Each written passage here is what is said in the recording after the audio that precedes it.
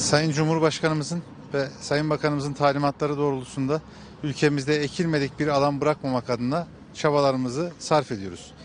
Kayseri ili olarak 51 bin dekar alanda yazlık buğday ekilişi yapıyoruz.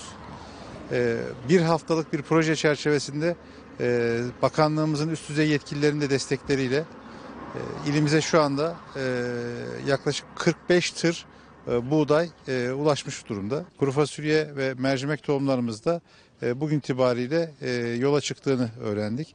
Önümüzdeki hafta içerisinde de e, diğer e, gelecek olan tohumlarımızın da dağıtımını gerçekleştireceğiz. Tarım Bakanlığımızın bu %75 hibeli buğday desteklemesini gerçekten takdire şayan olduğunu bizzat buradan beyan ediyorum.